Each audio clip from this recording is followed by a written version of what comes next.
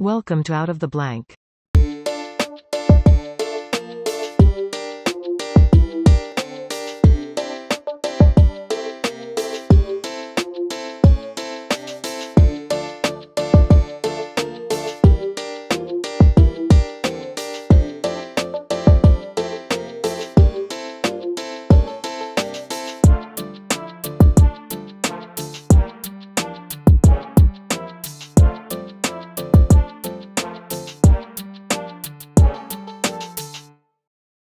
To another episode of Out of the Blank podcast. I'm here with a special guest who does a lot of stuff. Massimo, I think I know you probably better than just the average conversation that I usually do with people. Usually I try not to do too much research, but I went onto your website and then there's the, you know, astrophysicist angle, but also you are interested in so many topics where I'm like, where would you like to start? Like if you were going to introduce yourself to everyone out there listening besides astrophysicist, and you can explain that as well too but what topic is on your mind, man? Because you're like me, you're all over the place. Yeah, thank you. Well, my topic uh, in my mind is something in which I am involved right now, namely the um, uh, possibility to uh, take, to obtain uh, scientific data uh, regarding so-called UFOs that we now call UAPs. Uh, scientific data using the same methodology that we use when we take uh, data about uh, astronomical objects.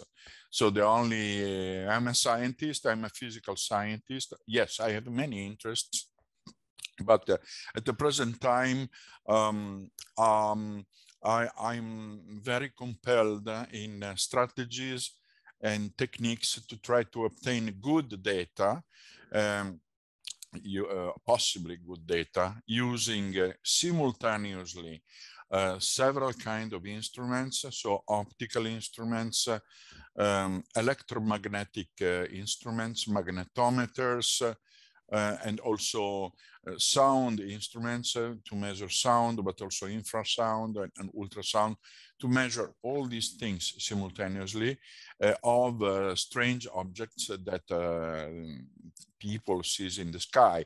So first of all, we have to verify if an anomaly really exists because um, uh, uh, we have to compare what in case we are able to see uh, with what we already know. So um, for instance, I, I being a, an affiliate researcher of the Galileo project, um, I collaborate with them in my specific field uh, to try to obtain this kind of data. And uh, the engineers of the group uh, who are working very well are using artificial intelligence, a software which is based on artificial intelligence, which is able to recognize uh, prosaic objects like airplanes, fighter airplanes, drones, birds, and whatever that is normal from something that we don't know.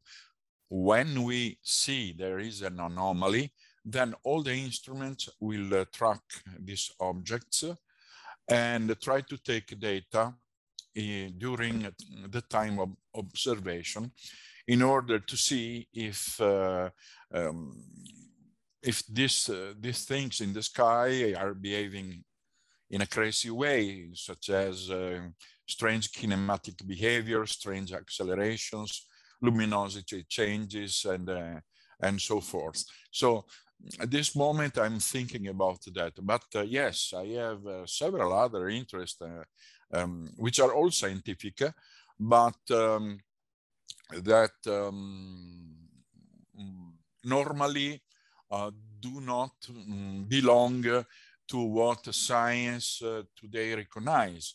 Uh, the point is that I'm not studying these things because I believe in these things. I study these things because I want to verify with science if these things exist or not. I do not care at all about prejudice, about uh, um, belief system or they cannot exist. Of course, they don't exist. I have to see what the data are showing to us. Only when we have the data, namely numbers that we can measure, that we can put on a chart, uh, that from which we can derive equations, then only then we can say it exists or not. And if it exists, then we can say how it works.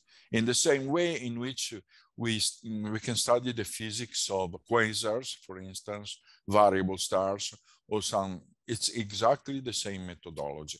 Then I have also other interests, of course, yeah. Uh, which are sometimes related. Yes. Well, with the UFO topic, for instance, it's one that's been rising up in trend. It's one I've talked about many a times from many people from the Galileo project. But the way that I'm starting to hear you kind of talk about it is like you're you're interested much like how I'm interested in it. Like if it's there, let's try and figure out what that is. You're trying to find a clear answer, but everyone who's got an iPhone is trying to take a video of something and say this is it and this is 100% this. It's hard because with science you're always testing the boundaries, but at the same time, you don't want to go on a witch hunt. And a lot of times it seems like money gets thrown out for something that could be an essential witch hunt. Now, the idea of an aliens, it really depends on where your stance is. Do you believe that they came here? For me, I don't think they've contacted us i definitely think there's something more than just us out in the universes because we don't really understand the full scope of the universe. I mean we understand a lot of it from scientific data and stuff but it's just endless nothingness upon endless nothingness. So you're really to think that we're the only things that could possibly be alive around the whole entire galaxy solar system whatever you want to say it's just crazy but also at the same time to say that aliens are contacting people and communicating with them and giving them the winning lottery numbers that's even crazier. So it's good to find a clear answer on this and as much as you might know everyone's got a different perspective and opinions on it and i think you stand where i stand where it's like your perspective's cool and all but I want to see the evidence and I want to prove whatever that is. And that gets to be the hardest thing because when we talk about this topic, there's a lot of people who have made this their identities, who have made this their belief system. And that's what the sketchy line kind of gets drawn. If you show data or you're wanting to see data or evidence or some type of anomaly, or you say it's some type of star or solar flare or whatever you say it is, they're going to get a little bit upset. So we need to try and find clear pathways to be able to show a conclusive answer. I, I cannot hear is. you anymore. Can you it's hear me? frozen. You're oh, good? that's okay. Yeah. Yeah. Yeah. So you're trying to find conclusive evidence on what this is. Yes, I would like, uh, we uh, all would like, it's good that uh, uh there is a um, very big group uh, that uh, joined together to try to unite all the competencies, scientific competencies and effort to try to understand. The point is that we don't have, I don't personally, but I think also my colleagues don't have in mind the idea of extraterrestrial intelligence it could be, this is only one of the possibilities. I have to tell you, because we have to be, uh, how to say, honest um, with, uh, with ourselves, with, with, with people, that there are some phenomena that might look like uh, structured, uh, might look like artificial, but can be explained uh, as natural phenomena. For instance, I'm studying some um, strange phenomena that have been happening uh, uh, many years ago in 1959 uh, in Russia, um, in the so-called Dyatlov Pass, where um, some explorer died uh, during a, an accident. And there is a colleague of mine who is, whose name is, is a computer scientist, but he is also a mountaineer. Uh, he uh, wrote a very interesting book about the Dyatlov Pass incident, and he discovered that, that these people have faced uh, um, something uh, very scary, which was probably caused by a sort of ball lightning. Okay, so uh, the behavior that has been described not only by them but also by other people in the area um, such as beams of light uh, uh, which everyone would say, oh, this is a, a laser super weapon of the aliens. This kind of events can be explained as a natural phenomenon, something like a beam of light, which could be emitted by um, stro um, strongly rotating uh, and high, um, high temperature mm, ball lightning. When it rotates, it can flatten it can become like a flying saucer practically and release energy from the poles, from the polar regions in the form of beams. Uh, and this is physics. This is normal. It's something that happens also in the pulsars on the on the bigger scale of the universe. This, I tell you this only to tell you that we have to be prepared. That uh, what we see when we have uh, mm, strong data in our hands, we could deal with a natural phenomenon, not necessarily with alien spacecraft, but we have to be prepared to everything. We have to be extremely cold, agnostic, and uh, uh, never following any belief system, N not the interest, uh, you know, it's interesting to, to, to see if there is other alien intelligence coming to visit us and science doesn't exclude at all this possibility, okay? But it, we have to be cold.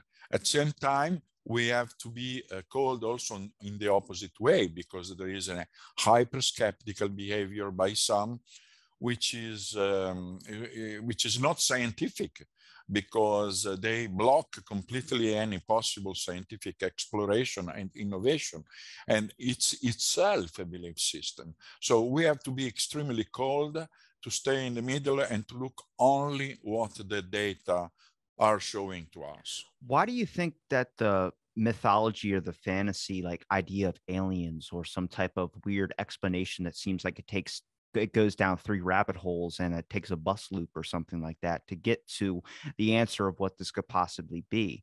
The most idiotic thing that I've ever explained to someone or said to someone of my opinion of what it is is that it's ball lightning or some type of weather phenomena.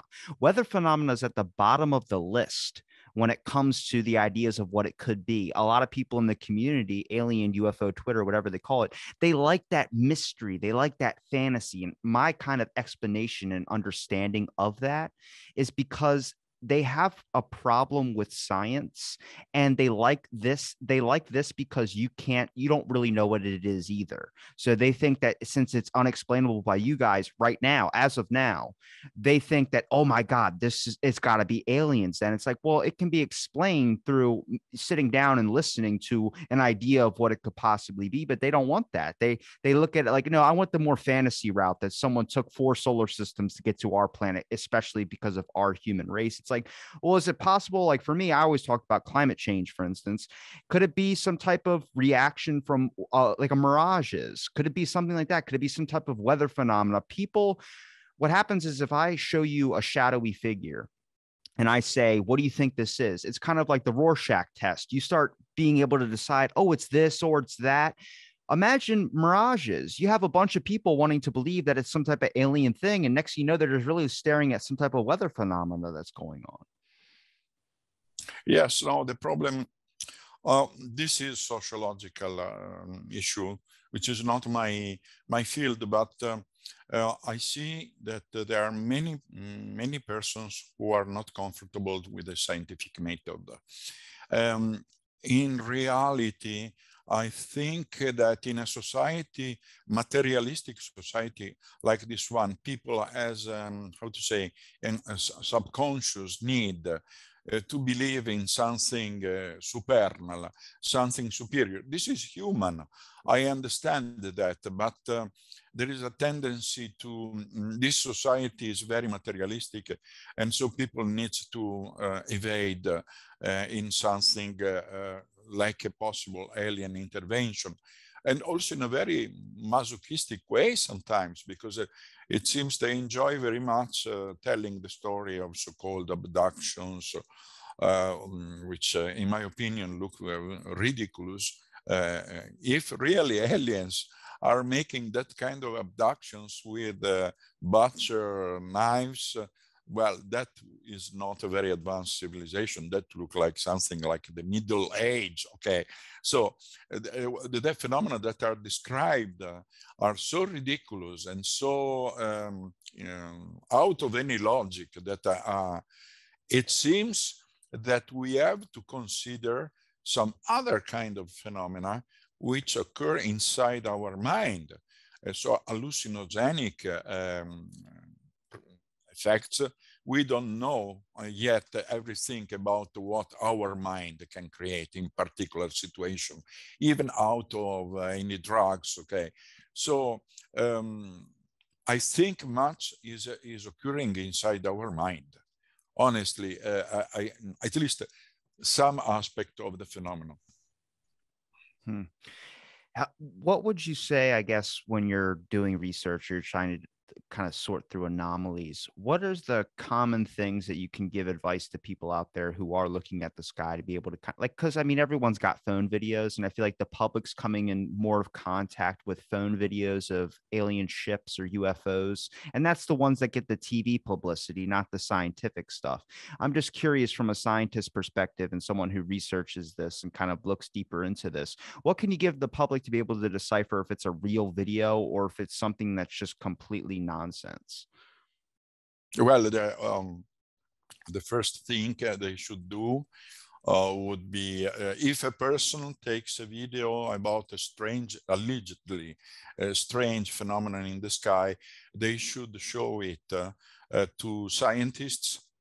And, uh, and they are the first ones, atmospheric scientists or physical scientists in general, they can tell them um, what can it be. For instance, if you if you video also with a smartphone um, or take a photograph um, uh, of the sky, being very close to a very luminous source like a street light, okay, or near the sun, uh, you can see some strange things that are um, lens flare that those lens flares look like real UFOs, but are optical effects inside the camera.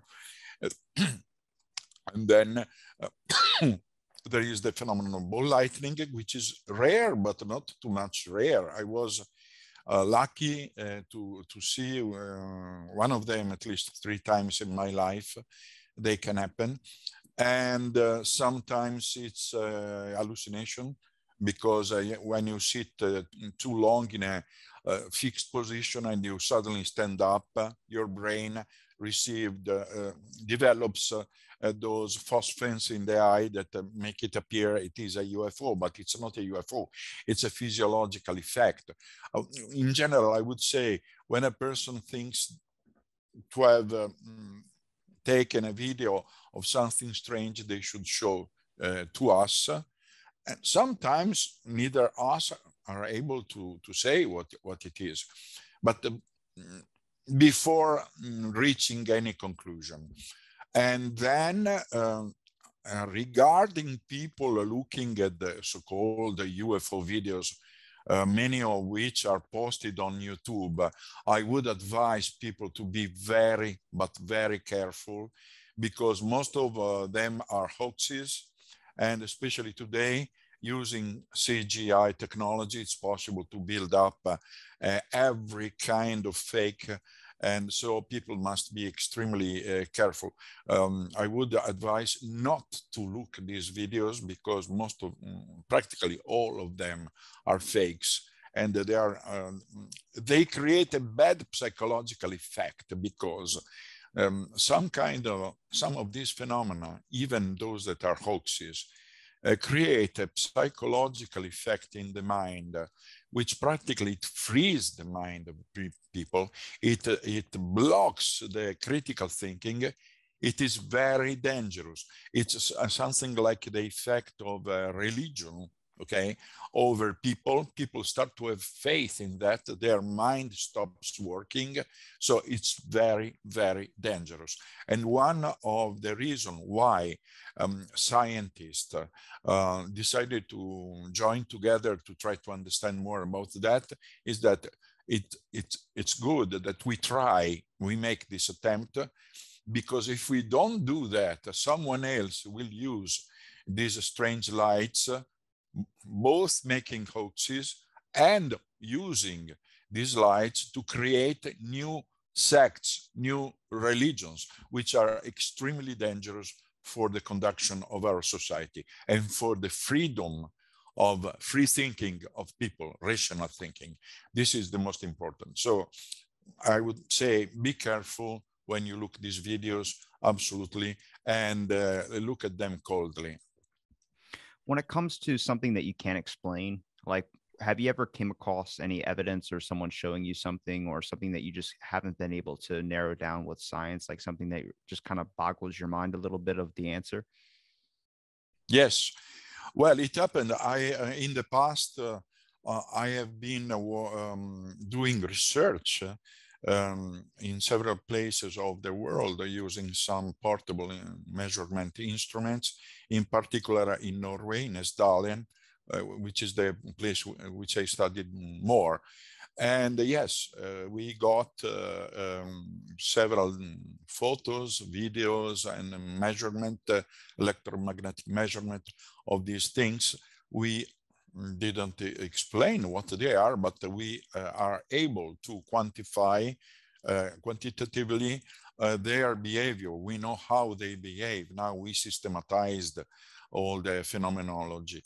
Uh, but uh, um, I have been thinking about that like a natural phenomenon, a strange natural phenomenon, I would say, that sometimes shows geometric shapes.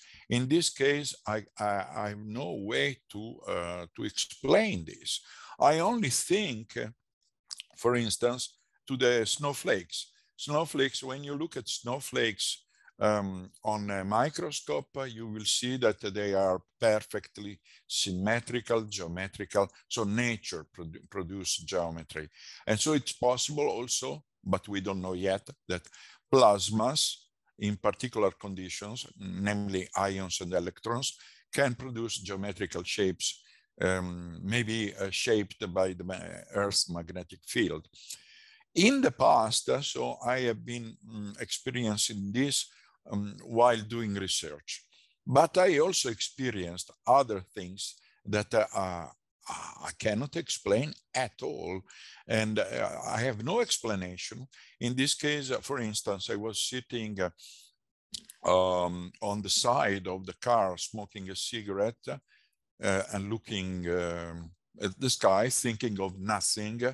I was completely normal. There was a party inside, so I went outside all of a sudden my uh, sight was attracted by a point in the sky and just there there was a, a star-like uh, light that was moving uh, randomly you know erratically like if it, it, wanted to attract my attention something like telepathy let's say mm, crudely yeah, it was something like that it happened several times uh, um, and I have never explained this. So there must be something that also interact with our mind. There are some phenomena that we call paranormal, but probably they are absolutely normal. It's something we don't know yet. We have to study more in depth, okay? Because here there is a structural problem, okay, that comes from, from, from the past, from the time of uh, Cartesius, Cartesius was telling that uh, uh, matter and consciousness are to two totally separate things. Res extensa, the matter, and, and res cogitans, the thought. I don't think the things are so. It's possible that consciousness and uh, or call you mind and matter sometimes can interact together and create uh, something. Okay, so this is a shadowy side of the universe that uh, uh, of um, of things that do happen because there is a very rich statistics also from uh, physical scientists.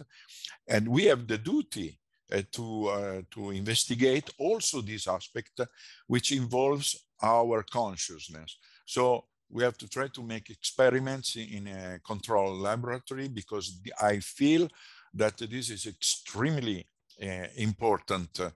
Um, uh, yes, so well, I, I don't yeah. hop I don't hop in the boat of uh, ball lightning phenomena, but I do hop in the boat when it comes to weather um, mostly, have you ever seen like gas, like just gasoline? If you leave the cap off a gas can or something like that, you get to see like gas fumes coming out. Like it's it's clear, but you see like a warped kind of vision in a sense. Like it seems like you're looking through like a like a kaleidoscope. Not really like eh, as drastic as a kaleidoscope, but just the if I'm looking at you right now and you're looking at me, it looks like there's like a bend, like it like it seems like your vision's warped a little bit. I look at like, is there an ozone impact? Because the same thing you just explained about looking up at the night sky and seeing a little light like that, I've seen the same thing, and this light move like it, it was trying to grab my attention. I've wondered what that is, and I start realizing there might be some type of environmental thing. Because how many people really stare at the middle, like in the middle of the night, stare up at the sky without looking through a telescope. They just stare. You can do that, but a lot of people don't take the time to do so. And I think your eyes start to adjust. And I think with like the environment, for instance, I have no idea if you're seeing some type of some type of environmental impact from pollution or something like that that's causing your eyes to warp. I mean, light pollution is a real thing. So you got to look at the concept of maybe there's another type of form out there that our eyes are just have to adjust to or have to learn or because we've caused something. I I hop in that boat, but it's so hard because it isn't explainable in a sense, or we don't have that information yet. And it's kind of hard when you're smoking a cigarette and looking up at the sky to pull out a measuring kit or do whatever you have to do to be able to research that. So you don't have an answer for it. But it's very, very strange to me how it uh, immediately gets lumped in with aliens where I'm like, we don't understand our earth to a full capacity and we don't, we understand even less about our minds. Why are you like, it's, um, like there's a, a, uh, type of a syndrome or something like that when you stare at clouds. You see everyone sees something different. That can happen with the sky as well too. You have so many lights going up there. Everyone can see the moon. Everyone can see these things that we all agree upon. But also depending on like is it an imagination thing? Like i feel like maybe technology has taken away a bit of that creativity when it comes to just free throw like imaginary figures or whatever you want to call it. Everyone had one as a kid but when you look at like is that maybe everyone's creative aspects going out of control because they are really on their phones all day? I have no clue. Maybe it's a, a factor of staring at your screen you're staring at your screen so much, you're on social media so much, or and the common person is maybe your eyes have to adjust. And next you know, when you're staring at something that doesn't have a blue light right in your eye, you're seeing some weird abnormalities, I'd say. It's possible. It's possible. We live uh, constantly glued on a computer screen or on a smartphone screen. And um, um, all of a sudden, when we go outside in the dark, uh, some phosphorus remain inside our eyes and create these flashes of light. I think it's physiological effect, but people um, normally don't think about that. They tend to think to of UFOs or paranormal phenomena or something. I think there should be a better education at school um, on elementary physics, uh, just to help people uh, to, to diagnose uh, um, critically what happens to them from both from the point of view of their physiology and from the point of view of the external nature. Because knowing how things work uh, it makes people much more tranquil okay? Uh, much more confident in their own capability. But if a person tend to fantasize for instance looking at a cloud that is uh, flying shaped like a flying saucer. Uh, uh, something uh, so-called analogic thinking start to to work and which is something that was um, working in the middle age the, it, this kind of inspiration was the same inspiration that uh, uh, um, invited the ancient people to believe to to believe in some gods in the sky.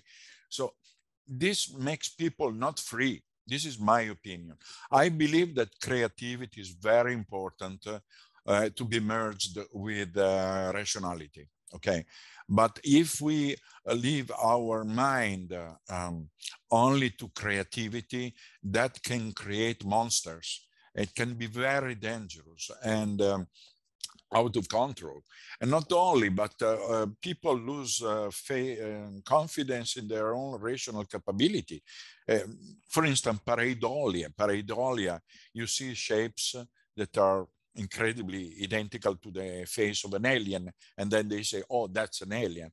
No, it's our brain. It's our, um, how to say, all the image that we have inside from the media uh, that uh, induce us to recognize something. But it's only pareidolia. So people must uh, learn to recognize uh, um, what happens in the external world uh, coldly, coldly. Not only, but with marvel, because these things are marvelous. This belongs to nature. And nature is marvelous uh, by itself without any need of UFO. So people must start to learn to love more nature as it is. Uh, uh, than invoking uh, alleged gods that are coming to save us or to punish us and to see pareidolia in somewhere. Uh, then only when we have uh, a, control of the environment in which we live, only then, then you are in a condition to judge and see, yes, there is an anomaly.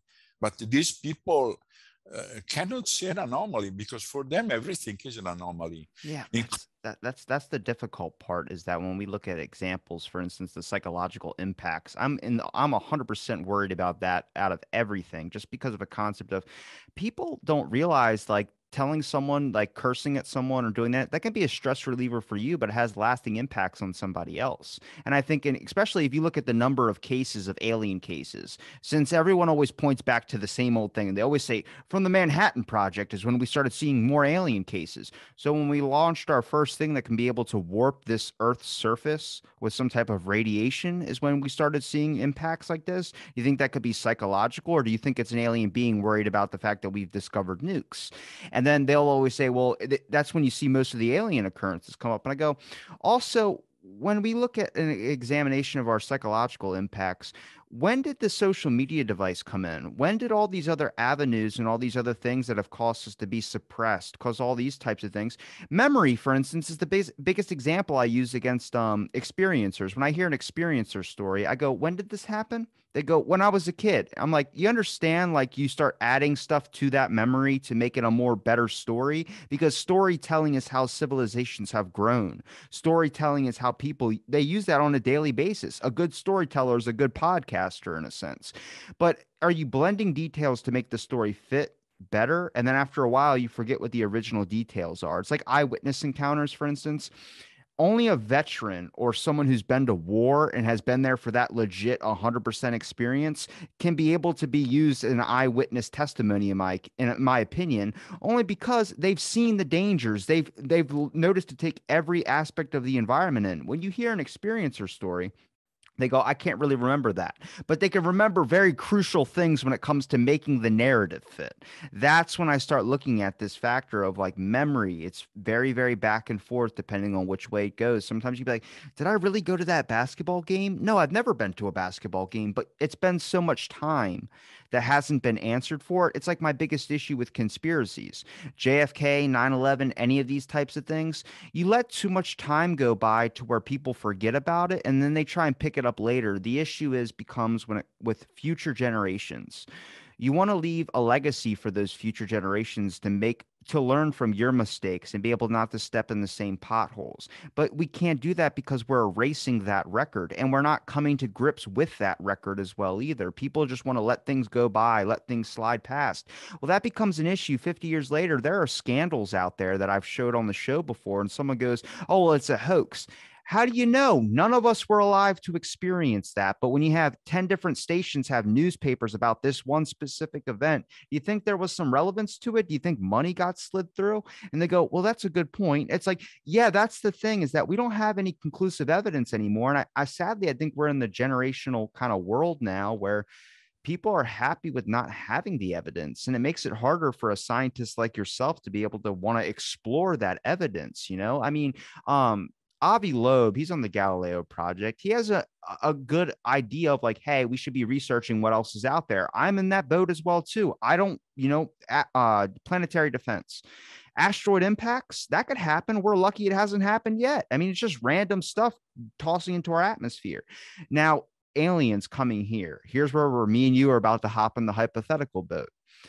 If they did come here, people go what would they want from us? And i know it's i don't i don't want to bring us to that like questioning or that skepticism but i think people really underestimate the human capability and the fact that we are fascinating we are intelligent but we don't have the right when it comes to like space colonization. We don't have the right to leave this planet yet because we don't have all of our ducks in a row we're still fighting over very trivial shit. And when you look at the grand scheme of the world and other universes and other planets and solar system civilizations or all this, we can't even get over the fact of like there are people that will pull a gun out on you at a drive through at a fast food place. Like that's an issue. That's something that I feel like humans at this point should have excelled past that. But people love that mystery. And that's where my issue with mystery comes in. Because when you live in that fantasy realm, you revert back to like a toddler. And then you never want to become an adult. And then you're 40 years old and you're really skepticizing of like fairies are real. It's like, oh my God, I thought uh, you were supposed to learn at 10 years old that there's no fairies Am I right? Wrong? No. Oh, your mic, your mic's uh, muted. Huh. Pause. Oh yes, no, I am. There you go. Okay. Yes, I understand uh, your um, your reasoning. I think that the people um, mm, tend uh, they don't want to grow practically because uh, it's very comfortable to believe in fairies, especially when reality is hard. Uh, living in a world like our Western world that is very competitive, uh, if a person is frustrated, uh, they need to, this is my vision, to build up a fantasy world, okay? Um, but there is a point that I don't want to forget to tell you. Uh, I, um, my interest is in the physical data of the phenomenon. But as my wife, um, my wife Susan Demeter is a scholar uh, who studies UFOs from a psychological and sociological point of view. She taught me, um, and she's a very deep scholar, um, she taught me that uh, we cannot disregard the importance of the witness of a given phenomenon because probably uh, there is um, a strange connection between the witness of a phenomenon and the phenomenon itself. And it has to do with a possible connection between consciousness and matter. This is something very important to study. Not, it's not my field, but it's very important to study and I, I, am curious because we are going to um, install uh, in the next uh, year, at least probably before, uh, several um, automatic uh, instruments uh, in, in hotspots uh, of the world, starting from the United States, to see if there are in the sky strange light phenomenon. But personally, this is my own. It doesn't represent uh, Project Galileo, but it represents myself. I'm wondering, is there any phenomenon happening when no one is observing? Is the phenomenon happening also when we are not present? Or is that the phenomenon is attracted by our mind? This is something that we have to have the courage to investigate. Not my field, but I hope psychologists uh, um, study better the thing because the witness, when the witness is sincere, when the event happened to the witness are real anomalous event, the witness is a crucial uh, element probably of the entire so-called UFO phenomenon. So we have to consider also that interaction between witness and the phenomenon itself. Does the phenomenon happens when a witness is not present?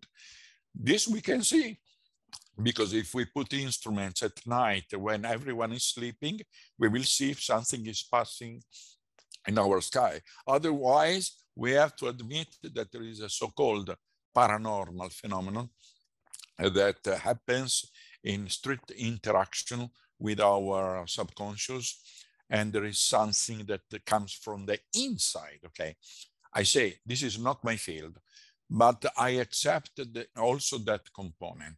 It's just what something came to my mind. Yeah. There's a, you know who David J. halpern is? Halperin is? No. He wrote no, a I book don't. called The Intimate Alien, and his perspective is, is that it's like a religious thing. He believes that people channel it from inside of themselves, like something like that, like to deal with the death of his mother from cancer. He believed that it was a demon and the alien was a demon that he was channeling out of themselves kind of like um there's an old project called uh operation stargate or project stargate and it was like men who stare at goats that movie with george clooney where they had a bunch of like psychological warriors that were able to use like certain tactics like cloud bursting being able to use your mind to separate a cloud midair or something like that something crazy like that now, that is something where I, I, is that kind of what you're hinting at? Is like an aspect of like, could there be a possibility that if that anomaly is happening only when people are looking at it, is it something that we're channeling out of ourselves? Is it something that we're projecting out into the world? And I, I mean, for instance, when you read somebody's face, you can tell if someone likes the conversation or not. You can also tell if someone is like, "Oh, maybe I shouldn't bring up that topic," or "Maybe I shouldn't go this way." It's it. People call it empathy. Well, where does that empathy factor go from? Is there a capability to our brains when it comes to being able to really kind of like they say sound frequency and vibration is like all these types of things they always toss out is that is that a possibility? Well there hasn't been enough evidence on it and honestly i'd look at those before i go and here's where i say the mystery becomes an issue.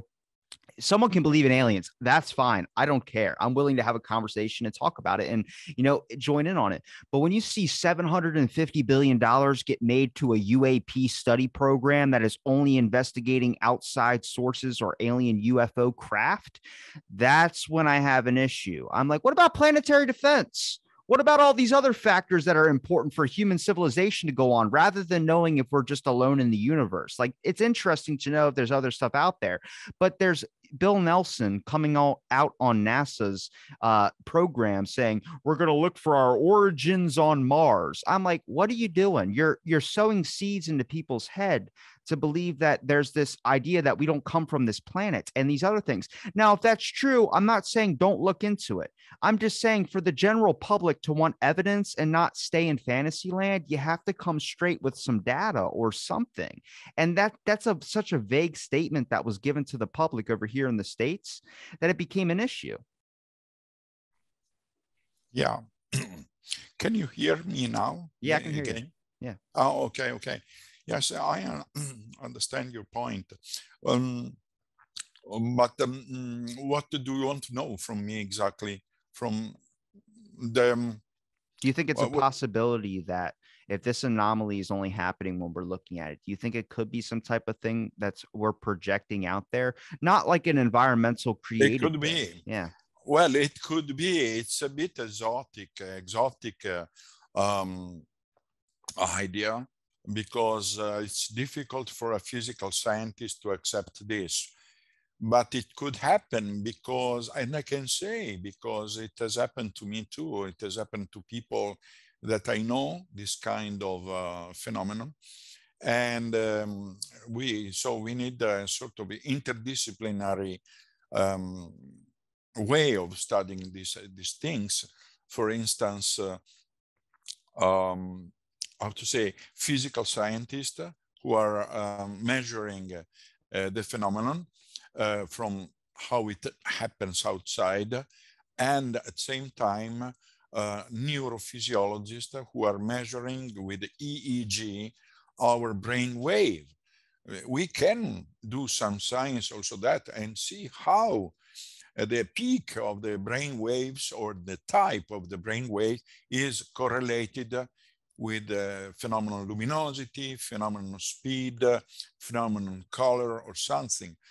I remember I was um, with a colleague in 2007, and we went to an important conference which which is about the study of consciousness, which is um, a famous conference organized by Professor Stuart Hameroff, uh, who is from Arizona University, um, Quantum Mind, okay?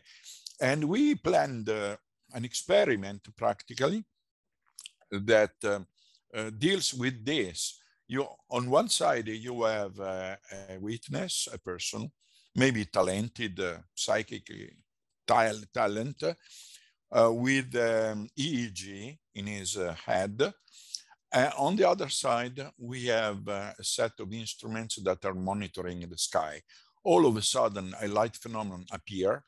At that point, uh, we hit the light ball in the sky with a laser beam, with a laser beam, and see what happens to the phenomenon when it is hit by the laser beam.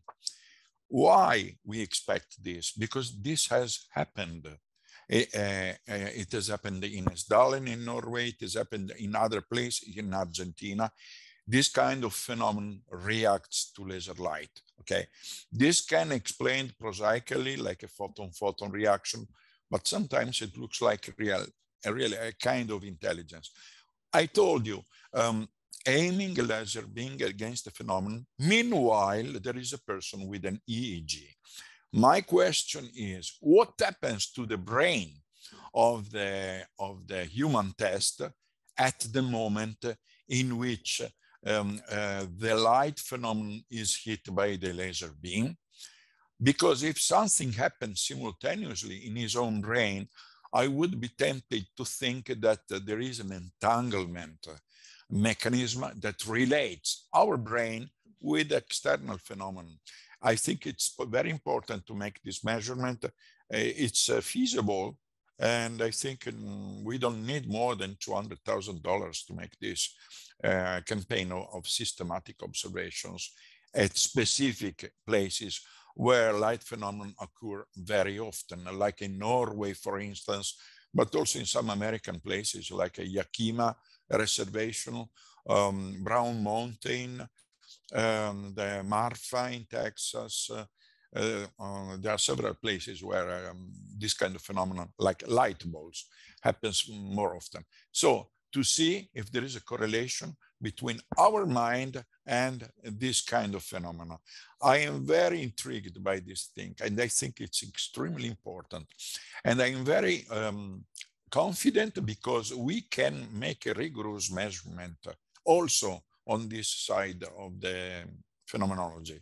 Are there other experiments just like that that you said that can easily be funded to be able to prove a lot of these factors as well too, or be able to test capabilities that our minds can have? Because I feel like a lot of the funding, like I mentioned, seven hundred fifty billion dollars or something like that, it gets tossed out to like one thing in particular, and it's in one area of research, like UAP study, which is just more funding to be able to see if aliens are out there. Where I go, is there other ones that we can budget it and be able to see if there's other experiments or things that we can run to be able to give congruent answers on these actual things that are happening right in front of us rather than taking the long shot and saying it's an alien encounter?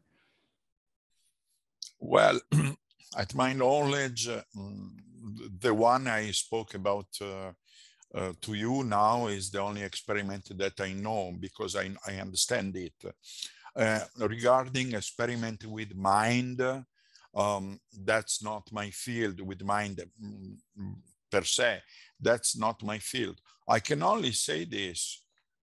We could do uh, another experiment which comes to my mind. Um, imagine to have with you in a group of um, scientists that are working on the field with instruments to monitor the sky. Imagine that with you, you have um, psychic talent. So a person who is able to make uh, remote viewing, uh, clairvoyance, or telepathy or something like that. Well, let's, we have a human antenna.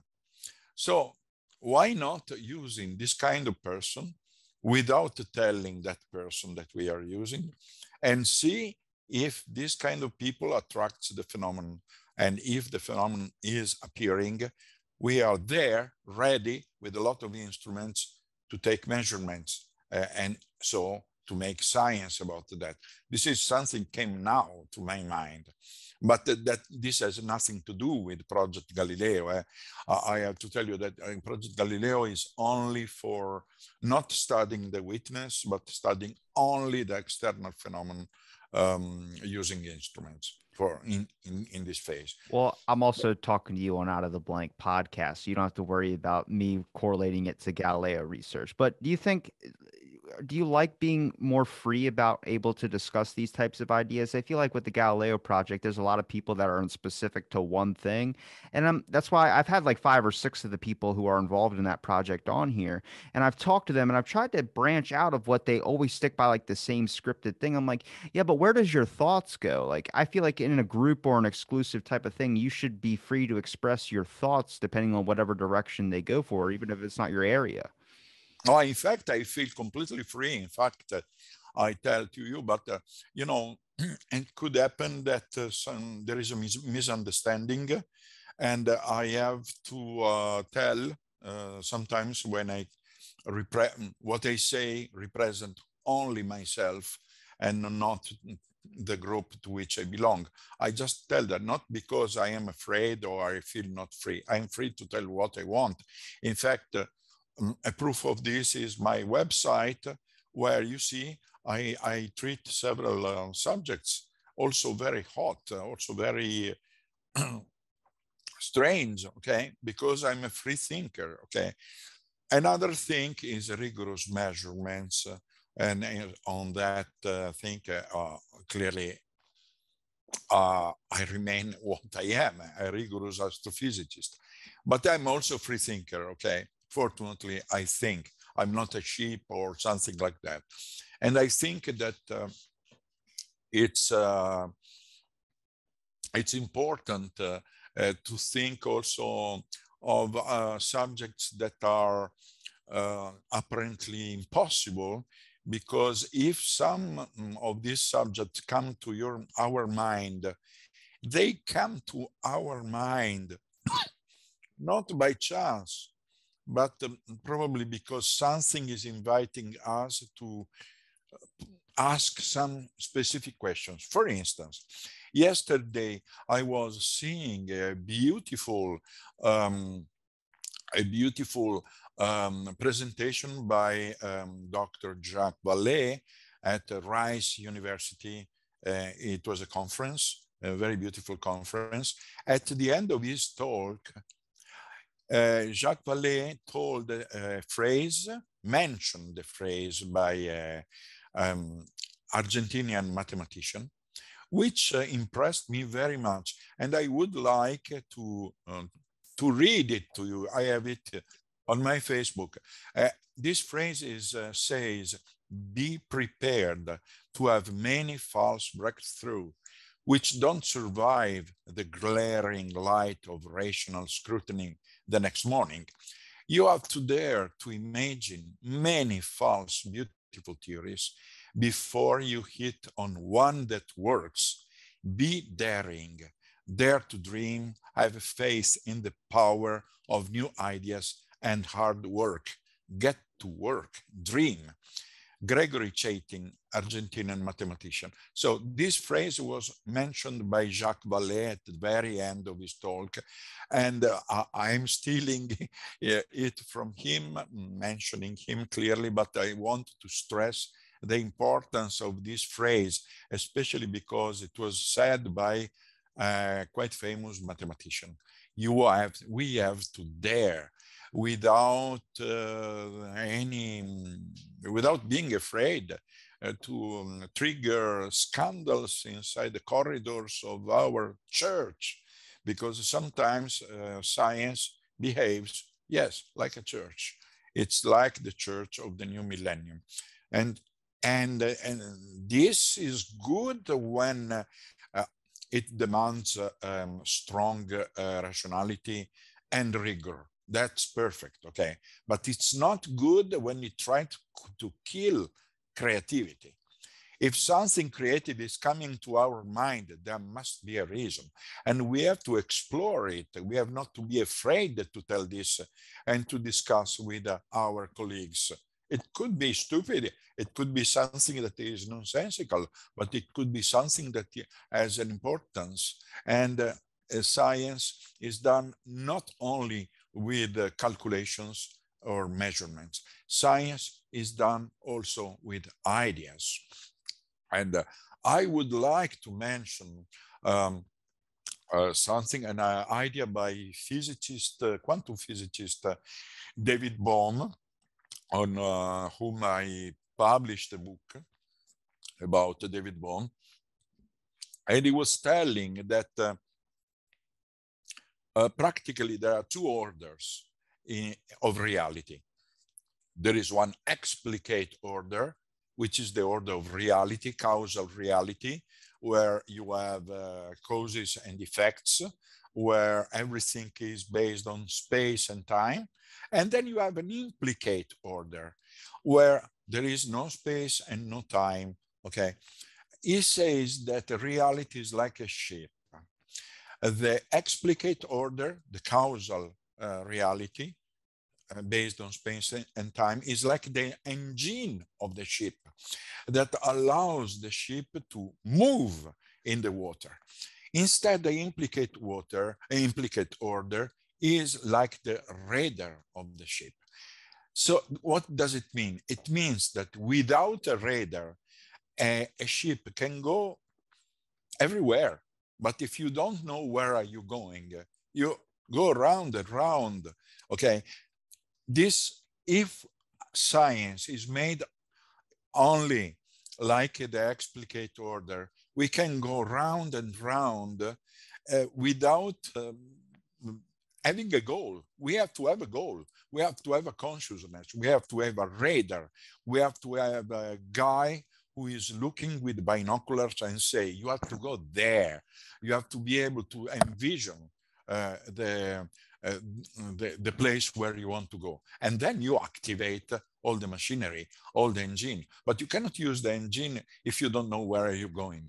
So science must must be.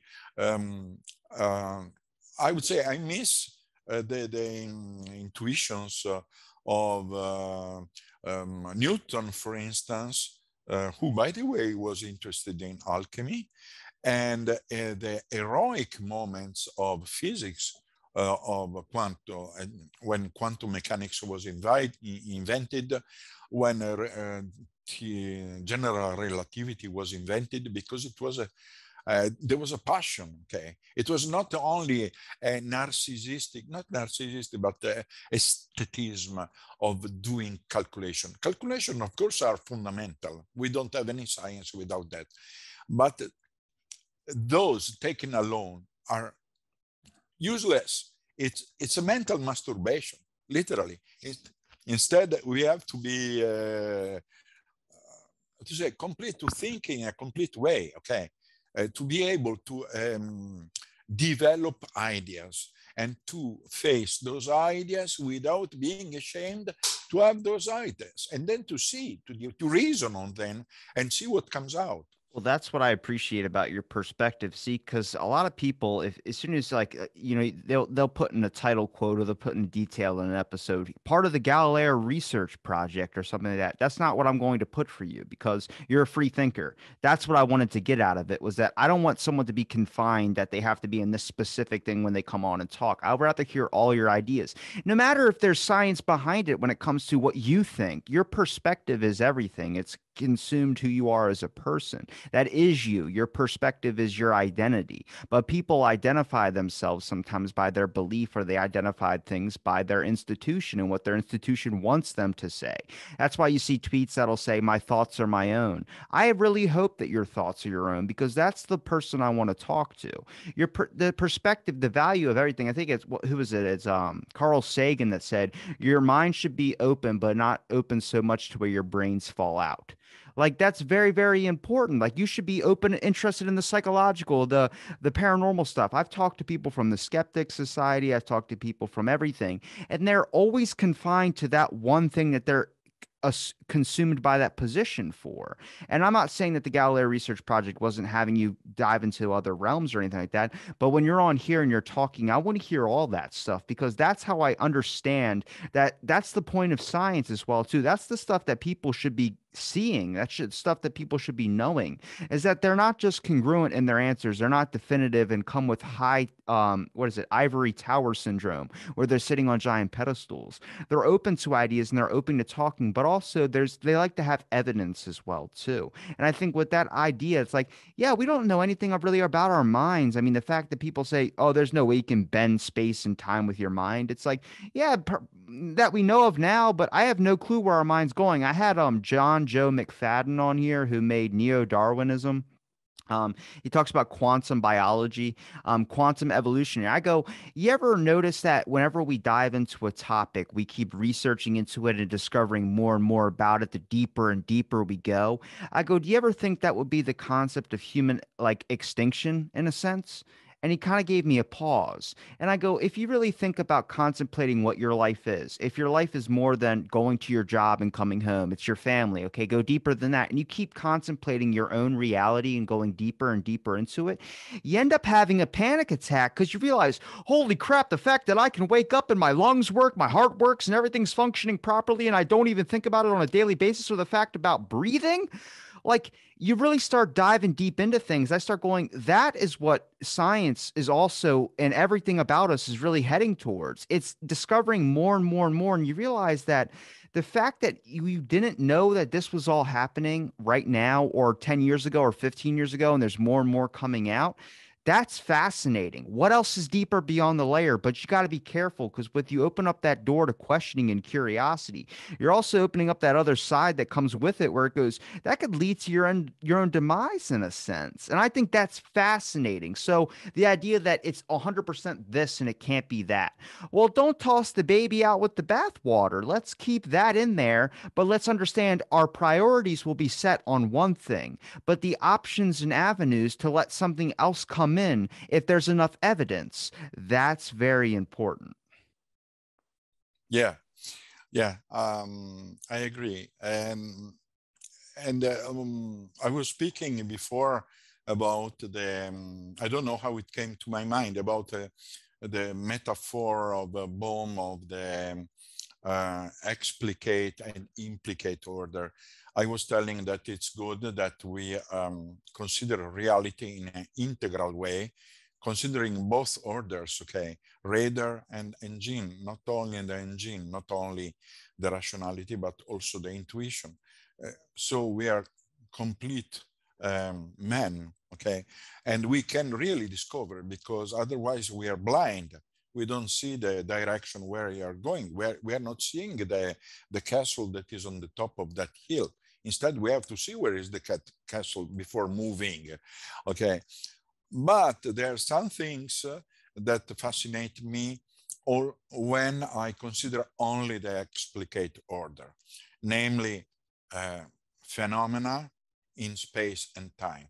Sometimes there are things that are extremely interesting without any need of any radar, in the sense that you consider only the explicate reality, the physical reality, from the data.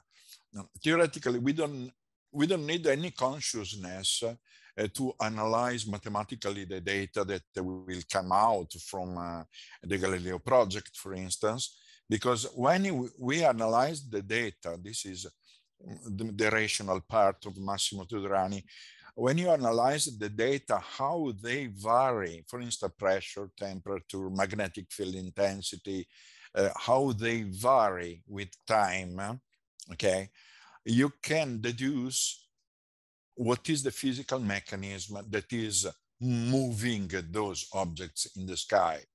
If you understand the mechanism, you understand the, the maybe the propulsion mechanism uh, by looking at them while they're flying, which is much better looking them while they're flying than uh, dismantling them inside the garage, inside an hangar, okay? Because you see what they produce electromagnetically while they're flying.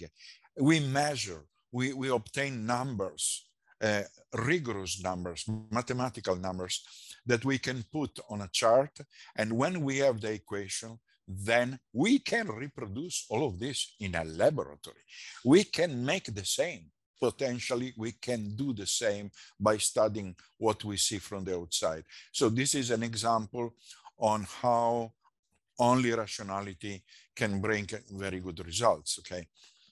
But uh, if you first don't use uh, um, a radar, you know, uh, uh then you don't have even the idea of uh, physical variability of the phenomenon. There were mm, some colleagues of mine that never thought about the possibility to study these uh, light phenomena uh, like we study stars. For instance, uh, when we studied quasars, and we saw when we discovered them that they, they are objects at cosmological distance, uh, they are galaxies, practically very old galaxies, which have a black hole in, in the nucleus in, in the very middle, okay? And the reason of the strong variability that we saw in all wavelength is due to the fact that sometimes there is an accretion, there is always an accretion disk of disintegrated matter by the gravity of the black hole that sometimes occasionally uh, falls in, towards the nucleus and give rise to big explosion. Just to tell you that this variability, in this case, violent variability, helped us to understand the physical mechanism uh, of, of a quasar. But there are also other uh, pulsars uh, or, um, you know, uh, star spots, uh, uh, pulsating stars. We know that these stars behave in that way because we studied the variability of its physical parameters. So we can apply exactly the same type of methodology to study these lights strange in the sky. And uh, in order to derive a true physics. But if you don't have that malice in your mind to think in this way, you would never do that. Instead, you have to think. There is a, a, an analogy. Sometimes analogies can help us to proceed forward. Okay, so we have to be able to use both the rational mind and the other mind. Otherwise, we are only robots. We are useless. This was something that came to my mind there's a, a weird balance between being a skeptic but also being open-minded um, science seems to have always try and find a conclusive answer. When we say science, we just talk about like the ones that seem to be more about their egos in a lot of sense. Some scientists on that concept that'll leave something because it just sounds like fantasy rather than looking into it. I like to leave all cards on the table. I think you stand in that same boat as well too. Not saying that you're going to put all your eggs in every single basket, but saying, yeah, but to deny the possibility of something that we don't really truly research or understand, that just sounds asinine in a sense. And think, yeah, I, I, I have hope for the future. Do you have you have a little bit of hope there? I have, I think people will get their minds together. I think it just needs a. People always think it's going to be aliens. Like, oh, I don't think it's that. I think it's just about understanding the value of somebody's perspective. I think when you can really honestly talk instead of having fighting or all these types of concepts come through, it's just like having a group of people that agree with you. Have some people that disagree, but that doesn't mean it needs to turn into an argument. Science is in the form or it's in the direction of human capacity moving forward. And people tend to forget that because it becomes more of a me rather than a we and that, that that's not just in science that's just the world in general it's absolutely true yeah and um, i have to remind that there are some uh, uh, scientists, uh, yes, they are scientists, sometimes they are pseudoscientists, that are so fond of their own idea that they confuse reali re reality with themselves. And they try to pilot their own research only to demonstrate their own theory. At some point, they will tell lies to themselves and to the theory. Uh, we have to be very objective. Uh, we have to compare. Uh, we have to discuss with the others. We have to see if the others obtain the same result. So uh, there are some rules in science that are eternal, uh, Galilean rules. And so it's not a question of me, it's a question of all of us. Uh, it's, it's the universe. And um, only the data have to speak. So people I have opinions about something, but uh, it doesn't work having opinions when you don't have yet the data. You cannot have opinions about um, uh, witness stories because it's something subjective. And, and it's like to build a house on moving sands, okay?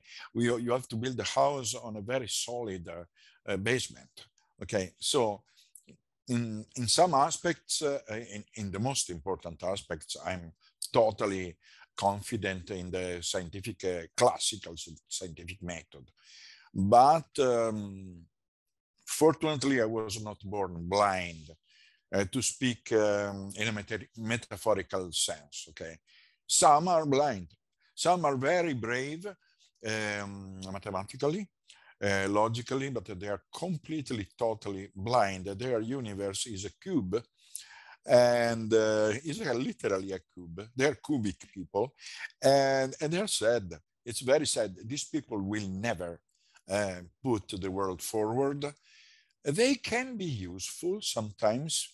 Uh, their skills can be very useful, and they can be very useful uh, to um, how to say to stop uh, charlatans, to stop cuckoos, like we call them, pseudoscience. They are very useful in these things. I support them.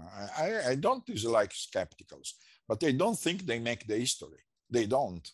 And when they start to speak about uh, uh, about their own way to see science uh, like a dogma, like a religion, like a belief system, uh, then this pissed me off literally because I'm a scientist, okay? and I cannot accept it. Science is innovation, exploration, first of all, not uh, making a mess inside the church, okay? Yeah. Um, you're gonna have to give me uh, another uh, some more time next time um, to be able to talk because I got another topic I want to talk to you about. Um, that I'll save for the next episode uh, if you want to come back on. But please let everybody out there listening know where they can find you, your website, your Twitter, um, and anything you want to leave on to let the people know. Maybe a curious yes, scientist. I would like uh, I would like to um, uh, sign on my my website. My uh, my website is easy to find. It's massimoteodorani.com. Um, simply www.massimoteodorani.com.